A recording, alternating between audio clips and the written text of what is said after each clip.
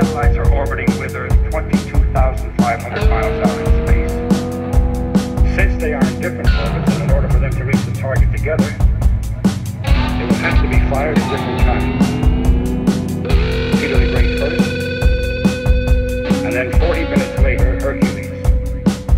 Approximately two hours after that, they will explode at a designated distance